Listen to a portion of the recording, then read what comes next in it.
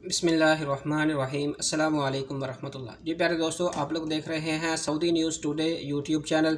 आज की वीडियो में हम विज़िट वीज़ा पर जो है वो बात करेंगे। एक भाई ने जो है वो ज़बरदस्त से सवाल पूछा था कि मेरा जो इकामा है वो एक्सपायर हो गया है और मेरी फ़ैमिली जो है वो सऊदी अरब में मौजूद है और दस दिन के बाद जो है मेरा मेरी फ़ैमिली का जो विज़िट वीज़ा है, फैमिली विज़िट वीज़ा वो एक्सपायर हो रहा है।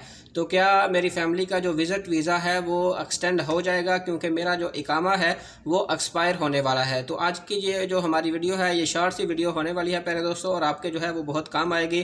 तो अब जवाजात ने उनको जो है वो जवाब में रिप्लाई में ये कहा है कि अगर आपका इकामा एक्सपायर है तो नो प्रॉब्लम, आपने जस्ट जो है, आपने जब वीज़ा एक्सटेंड करना होता है तो आपको इंश्योरेंस कार्ड इंश्योरेंस की ज़रूरत पड़ती है। आपने ऑनलाइन जाके जो है वो इंश्योरेंस जो है वो बनानी है। बनाने के बाद आप लोगों ने सौ रियाल जो है वो सिद्धार्थ करना है।